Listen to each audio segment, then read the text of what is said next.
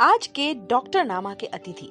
Doctor Kishan Kushwaha general and laparoscopy surgeon Jheel hospital. मेरा नाम doctor Kishan Kushwaha है और मैं झील हॉस्पिटल में consultant general and laparoscopy surgeon हूँ।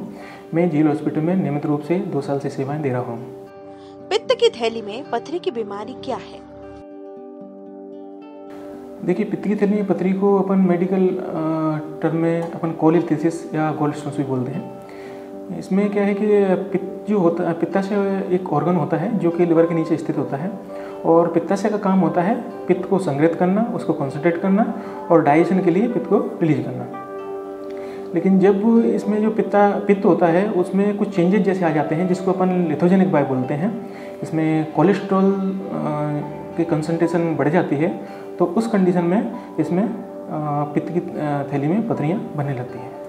पित्त की थैली में पथरी किन लोगों को और क्यों बढ़ जाती है? देखिए, पित्त की थैली में पथरी अमूमन फीमेल्स में जिसमें कि मल्टीपल प्रेगनेंसी हो चुकी होती हैं, जिसकी age more than forty years है उनमें ज़्यादा देखने को मिलती है। लेकिन मेल में भी मिलता है इवन बच्चों में भी पित्ताशय की थैली में पथरी बन सकती है। बच्चों में एक कंडीशन होती है हीमोलाइटिक एनीमिया उस कंडीशन में बच्चों में पथरी बनने के ज़्यादा चांस होते हैं। और ये कई बार हाइपोथायरॉइडिक थायरॉइडिक कंडीशन होती है, उसमें भी पित्ताशय की थैली में पथरी बन जाती है। और मेन इम्पोर्टेंट जो रीजन है, उसमें है अपन खान पान का वजह से। खान पान में जो लोग फैटी फ़ूड ज़्यादा खाते हैं, जिसमें हाई कोलेस्ट्रॉल रहता है फ्राइड फ़ूड का ज़्यादा खाते हैं, उनमें ये ज़्यादातर देखने को मिलता है। तो इसमें जो पित्त की थैली है, जो बाइल है जो पित्त है उसमें जब कोलेस्ट्रॉल का लेवल बढ़ जाता है तो उस कंडीशन में इसमें जो पित्त होता है वो कंसनट्रेट हो जाता है और स्टोन में उसमें बनने लगते हैं। इस बीमारी के लक्षण क्या होते हैं? देखिए पित्त की थैली की में पथरी का सबसे जो इम्पोर्टेंट लक्षण है सबसे कॉमन जो लक्षण है वो है बिलेरी कोलिक जिसमें कि पेट के दाहिने ऊपरी हिस्से में दर्द होता है और ये दर्द मरोड़े टाइप में होता है होता है फिर कुछ टाइम के लिए रिलीफ आ जाता है, फिर होता है, फिर कुछ टाइम के लिए रिलीफ आ जाता है। और ये दर्द कई बार अपने राइट शोल्डर की तरफ़ भी जाता है। और इसमें गैस बनना, अपच होना कभी कभार उल्टी होना, इस तरह के सिम्टम्स आते हैं।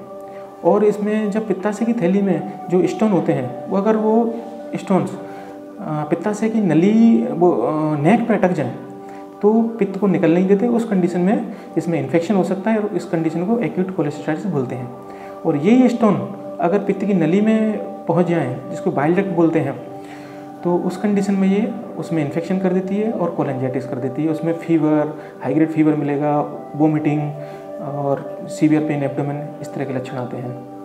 और अगर ये ही स्टोन पित्ताशय से निकल के पेनक्रियाज की नली में चले गए तो वहाँ पे वो एक डेडली बीमारी होती है, जिसको वो पेनक्रिटाइटिस बोलते हैं, वो कर सकता है। तो ये इसके सारे सिम्टम्स और ये हैं। मेन जो सिम्टम्स हैं वो है पेट में दर्द होना गैस बनना और अपच होना। इस तरह के कॉमन जो सिम्टम होते हैं उनके साथ ये प्रेजेंट करता है। पित्त की थैली में पथरी की बीमारी हो तो कौन सी जांचें होती है? देखिए पित्त की थैली के लिए सबसे जो कॉमन इन्वेस्टिगेशन और सबसे सेंसिटिव इन्वेस्टिगेशन है वो है अल्ट्रासोनोग्राफी अल्ट्रासोनोग्राफी इजीली जो गोल स्टोन्स होते हैं उनको डिटेक्ट कर लेती है.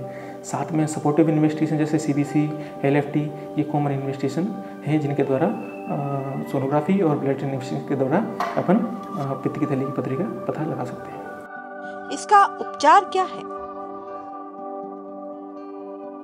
देखिए पित्त की थैली का दो तरह से उपचार होता है medical treatment surgical treatment medical treatment में अर्सोडियोक्सकोलिक मेडिसिन होती हैं, वो देते हैं, लेकिन बहुत ज़्यादा मेडिकल ट्रीटमेंट गोल्ड स्टोन में इफ़ेक्टिव नहीं है।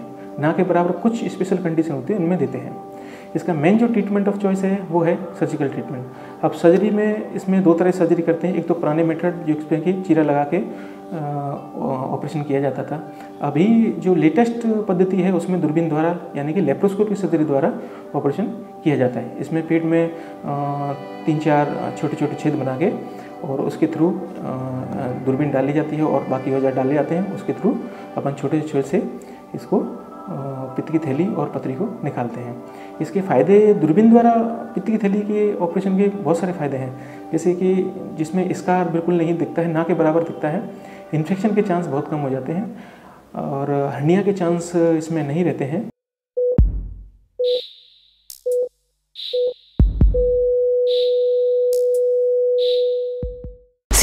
न्यूज़ राजस्थान की यह खबर आपको कैसी लगी? नीचे कमेंट करके ज़रूर बताएँ। अगर आप YouTube पर देख रहे हैं तो सीबीसी न्यूज़ का चैनल सब्सक्राइब करिए, पास में दिख रहे बेल आइकन को भी दबाइए, ताकि जब भी हम आपके लिए कोई खबर, कोई जानकारी लेकर आए तो सबसे पहले आपके पास नोटिफिकेशन पहुँचे। अगर आप फेसबुक पर देख रहे हैं तो सीबीसी न्यूज़ का पेज लाइक करिए। अगर आप इंस्टाग्राम पर देख रहे हैं तो आप हमें फॉलो कर सकते हैं।